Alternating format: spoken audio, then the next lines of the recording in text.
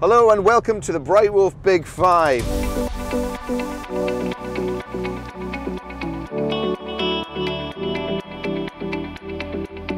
So once again, the Bright Wolf Big Five are out and about in Edinburgh, but we've got something quite special lined up for you this time. We are going into the city centre to grab an interview with Rosie, who is from Film Edinburgh. Let's find out what Film Edinburgh can do to help you make your films.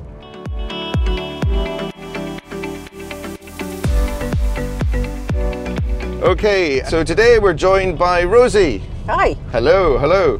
And we're just uh, picked Rosie up from the Film Edinburgh offices on uh, the Royal Mile, which is a glorious place in its own right. Certainly is, as many a filmmaker has discovered. Been very busy with big films. People will have seen it in Avengers and Fast and Furious. I could easily just start talking about, and now we're going down Cockburn Street. And now Street. we're going down Cockburn Street. and everywhere you go, there's another scene that's been filmed in Edinburgh. yeah, yeah. It, I mean, honestly, I mean, especially you know the big internationally recognised films, they do they want to come here because this is this is recognisable Edinburgh. Yeah, yeah, Now, um, yeah, and yeah. and they want to show you something that is familiar, but at the same time not not uh, New York. You know, they're looking for something that's that, that's historic and um, that's a little bit, you know, maybe like Rome. You kind of you, you see a lot of Rome on the TV the- on, on films these days because people know where it is, and yet there's something that we haven't seen about it. And I think that's what these big international films are looking for when they come here and they, they shoot the Royal Mile and Cockburn Street and Victoria Street and and uh, you know send these pictures out all over the world for, for audiences, young and old, all over the place. And uh, they are very welcome to do so. We Quite. do enjoy it. Absolutely, absolutely. Okay, Rosie, so Film Edinburgh, what's the purpose of Film Edinburgh? Film Edinburgh is the regional film office. In America, they're called film commissions. Our role is to attract and facilitate filming in our local area. We do this through supporting productions with advice about locations. We've got a locations library that commercial productions can, can make use of. These are places that the owners have said we're interested in having filming or just general landscape shots, you know. Uh, We've got lists of crew and facilities based here so that productions can come here and entirely crew up without having to bring everybody with them, though they are very welcome too. We work with accommodation providers so that when a production comes and they're looking for advice about where to stay locally that's close to their locations or their base, then we can we can feed that in. We deal with road closures, we deal with permits or not. You know, hopefully not, because we like to make it as easy as possible. But where a permit is required, we deal with that.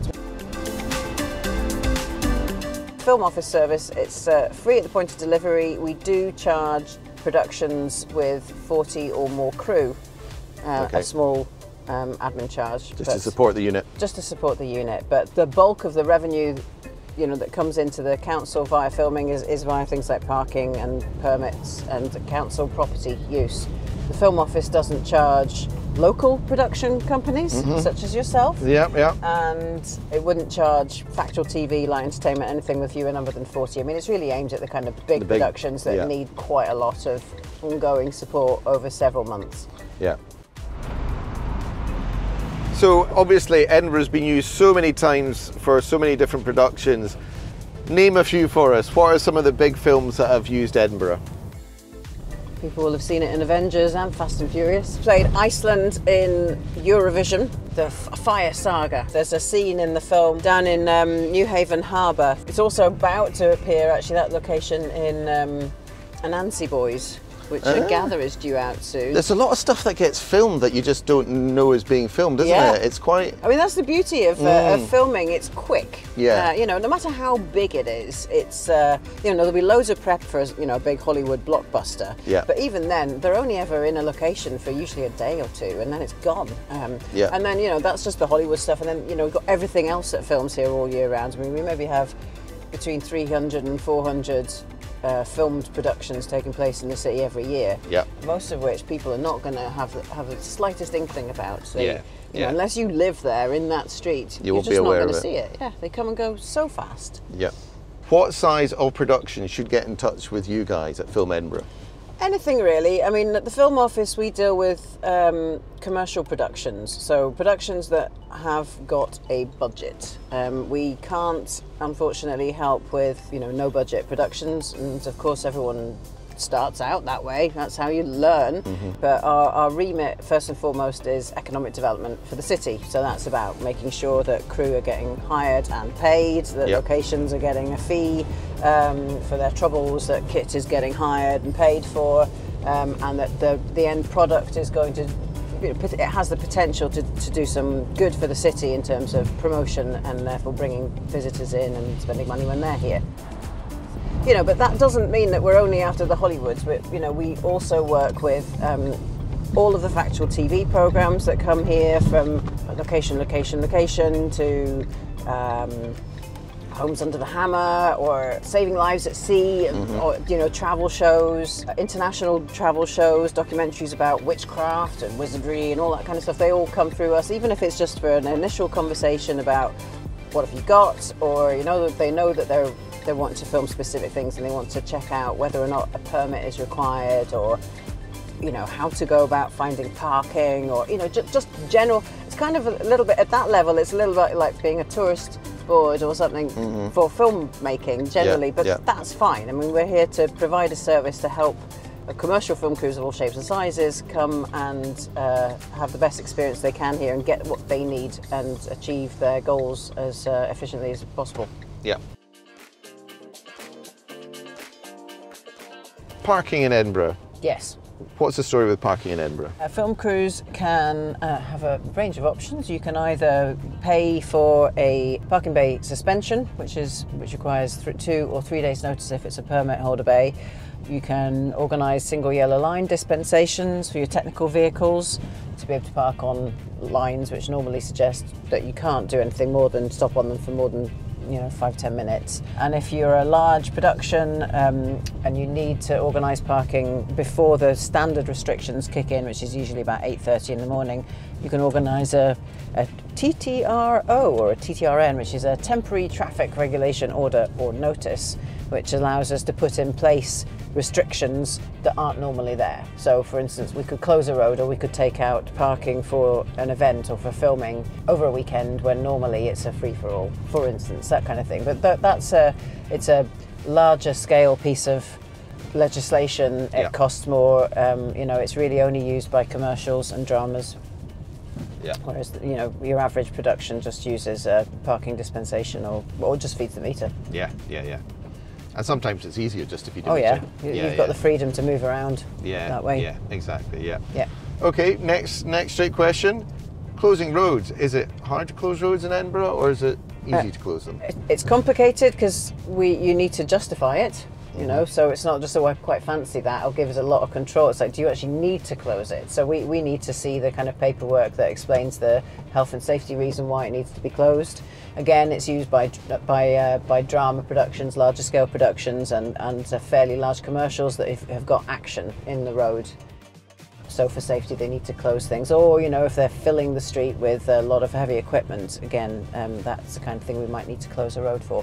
It requires at least three weeks' notice, at Right. least, and it can cost uh, you know a thousand minimum and upwards because you're going to have to hire traffic management people as well as pay for the legislation. So again, not for the faint-hearted. Right. So that's again big productions. Big will go. productions, yeah. Now, if you come to Edinburgh, is there any money at all? Can you get money from the city? The organisation that hands out money is called Screen Scotland. They're part of Creative Scotland. Handing out money is, money is obviously a loose term. To apply for it, you might not get it. Um, but they, they are the funding agency for films and TV programmes and games and animation and documentaries and factual programmes. It's them that have the money. There's no money for production from the council. The council is there to facilitate and attract um, and uh, through our fabulous locations and crew. And Screen Scotland is there to support financially the activity. Okay, that's cool, nice and clear. Um, and actually, quite often you can easily get in touch with Screen Scotland. Uh, there's a website, Yeah. easy to get in contact with. Quite often it, it's done through the local production companies who are brought in as partners Absolutely. for big Yeah, productions. yeah, much easier. Yeah. It's much the best way to, to go through. The, Screen Scotland is regularly in con- contact with most of the production companies in, in not just in Edinburgh, in Scotland. Yeah. They know them, they've got track records, it makes applying for money um, so much easier. Also, there's two types of money you can apply for from Screen Scotland. There's a production fund, which is to support Scottish talent, and that's a, a qualitative assessment. Do they want to support that project or not? And it has to be with a Scottish producer, um, director, um, creative talent. Yep. And then there's a, a sort of incentive fund it's called the Production Growth Fund, and that's about how much money you're spending when you're in Scotland. It's up to, I believe, well, it's quite a big chunk of money. It's quite big. It's quite chunky. it's Yeah. quite chunky, but you've Yeah, got to yeah. spend quite a lot to get it Yes, as well. So yes. it's it's just You've got to hit a certain budget level. yeah, I think. you do. It's a, and it's a you know a kind of return on investment. So, But actually, filming filming anything that's got high production values or Yeah. is chosen as a high production value production, you can get film tax credits, which is the UK government yes, thing. on top. Yeah, so which is on top. Yeah, absolutely. So there's quite a do- lot of- yeah, you can get. And in fact, you know, if you were working with a, a Scottish producer, let's Yeah, say, yeah. you could apply to the BFI for some UK production funding. Yeah. To Scotland for some Scottish production funding, plus. Um, the tax credit for the, tax UK, credit, yeah, yeah. plus the, the production growth fund in Scotland. Yeah. So there's so it's all about finding the right partner that can actually guide you through that. Yes, Uh, Scottish uh, producers Scottish are your way in, such as your good self. Exactly. Yeah. Exactly. Yeah. Down in Leith, we have studio. We do. We have uh, Edinburgh's dedicated um, film TV studio. It has been open since 2020, Yep. um, since the start of lockdown, um, which is great because the first production to move in there was Amazon's The Rig, which moved in during that lockdown year, the end of 2020, and it's been um, in constant use ever since um, by Amazon, by Netflix. um, Avengers did it, Avengers. Avengers It, used did it pre-use it? it sort of pre-used it, yeah. Yeah. They were in there before it was a dedicated film studio, but Yeah. when um, when we in Screen Scotland were definitely pushing people towards looking at it as a Yeah. really great site and something that could be a fantastic film studio. And uh, yeah, but Avengers used it for a, a set of the roof of St Giles Cathedral. 150,000 square feet of build space. We've got offices in there. We've got workshops. We've got loads of um, backlot and uh, parking, and it's really it's a fantastic facility for us to have, and it's been a real game changer for the city's ability to attract. Uh, large scale production and therefore for the city's ability to attract and, and retain crew who want to go to work locally. Yeah. Yeah. No. I Absolutely. mean, you know, you and I have been here for a long time. For a but- long time. uh, you know, Yeah. uh, there have been many other crew who've just felt that pull to London or Manchester, even Glasgow. Um, but and having this here has resulted in us just being able to say, you probably don't have to. Actually, this is providing employment for 200 to 400 people. and that's the thing, uh, you know, in this industry, it's hard to, you know, actually have a career Yeah, um, where you you can have a family life as well. Yeah. It's not well suited to that. So Yeah. the, the more filming we can get happening in Scotland, the more Yeah. places like that will just help so.